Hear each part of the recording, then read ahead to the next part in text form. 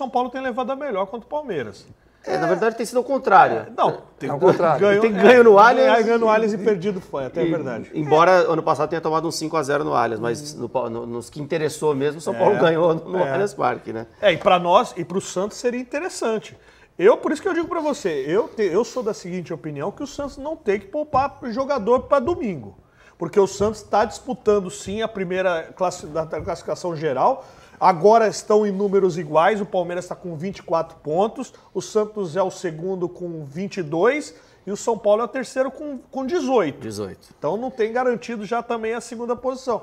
Então é, é- estão fazendo essa avaliação. Como o Bragantino Gelson- tem 18 também. É, Se o o- Santos é- ficar é com verdade. 22 e o Bragantino ganhar for para 21, na última rodada, Rodada- o Santos pode terminar em terceiro, por é, o exemplo. Santos pega a Inter de Libeira e, e- o Bragantino, que até É, o Bragantino agora, sábado, sábado, E se o Palmeiras isso. perde do São Paulo, que não é, não é, não é fácil, mas também não é, não é impossível, o Bragantino Santos pega ganha o próximo jogo e Guarani equivale o Santos ter a é. vitória a mais. É, então, É, o Santos, então. o Santos precisa então, ganhar. O Santos precisa ganhar. Então não tem Ganhar. essa história de, ah, jogador tá com CK alto. Vou dar uma de ruim agora aqui na mesa.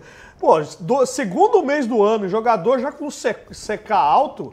Pô, pelo amor de Deus, tem uma projeção de 10 meses pro ano. O Santos tem um calendário muito restrito esse ano. Se o Santos chegar à final, acho que são 50 de 52 a 54 partidas que o Santos faz nesse ano. Tudo bem que a média de idade do Santos uns vovozinhos, né? subiu bastante. Subiu, subiu. Mas pelo menos a diretoria vai ter que ter essa observação, porque não dá para ficar sem os dois meses de ligação.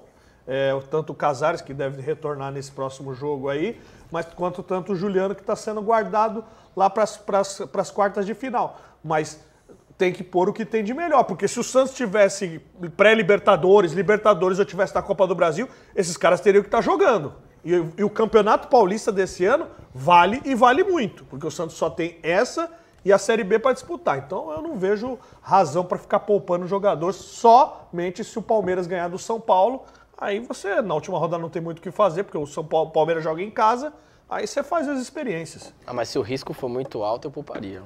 Ah, eu não. Cara, porque imagina você chegar no, no Você mata, no mata e, de- inteira, e depois não. Não, mas. É a semana inteira. Cara, mas aí eu não sou, não trabalho lá pra saber, pra Não, mas, entender pô, isso. Mas assim, a questão é, estoura o cara agora, aí chega no mata, né? Que não é mata-mata.